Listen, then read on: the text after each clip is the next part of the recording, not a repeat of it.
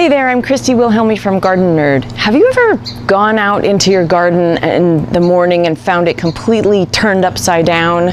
Plants pulled out and set aside, tunnels dug, soil piled up everywhere. Yeah, well, that happened to me this morning. I came out and all the fresh tomatoes I had just planted were all upturned. Let's talk about what this is, why it happens, and how to prevent it.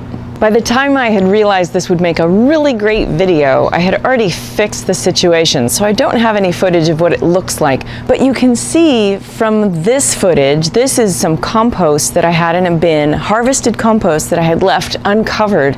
Well, they went through that too. You see, it's just upturned, it's been disturbed, it's not smooth. Uh, that's what to look for. And of course, you'll find plants pulled out, roots sitting up, droopy plants on their side. So why is this happening? Well, it's nocturnal critters who are protein eaters. So that is typically opossums, raccoons, and maybe a couple of other things, but mostly those guys, skunks also. They're looking for protein in your garden in the form of beetle grubs. These grubs, you can see here, they come in a couple different sizes. I mean, they as they grow, they get bigger and thicker and juicier and they live in the soil. They incubate in the soil, and then when they hatch, they turn into green beetle grubs or June fig beetles, or, you know, if you're west, if you're east of the Mississippi, Japanese green beetles. That's what they look like. And so they will burrow through your soil looking for those grubs, and they'll basically pull out and toss aside any plants that you have.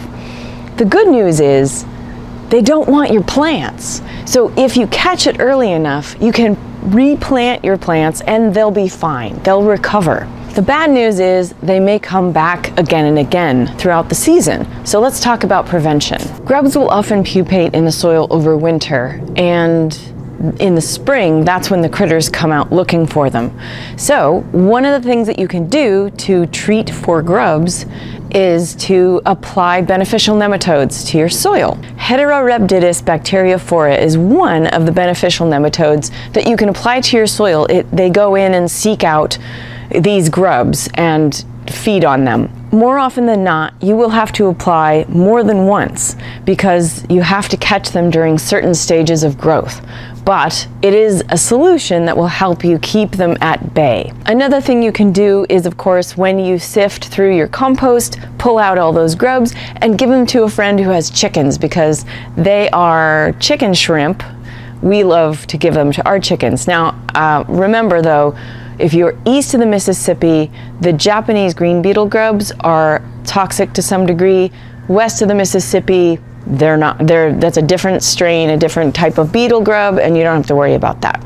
You can also use physical barriers to protect your plants from being dug up. Uh, cages and cloches that are big enough to keep the plants safe underneath, made out of chicken wire or half inch hardware cloth. That will help protect your plants from critters getting underneath and inside. It may take a while to manage the problem and keep in mind that this is an ongoing problem that will need an ongoing solution, which is why beneficial nematodes are great. Once you've managed the issue, you can replant those plants.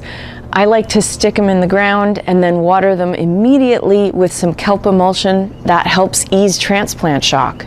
So do that, and if you can, plant them as early in the morning as you can or as late in the afternoon as possible so they aren't susceptible to the midday sun. I hope this helps you solve the mystery of who's digging up your garden and what to do about it. If you like this video, share it with your friends. Don't forget to subscribe and turn on notifications to find out when our next video comes online. Consider becoming a Patreon subscriber to support all the free stuff we do here at Gardenerd. And of course, check out my books, uh, Grow Your Own Mini Fruit Garden, Gardening for Geeks, and my novel, Garden Variety. Happy gardening!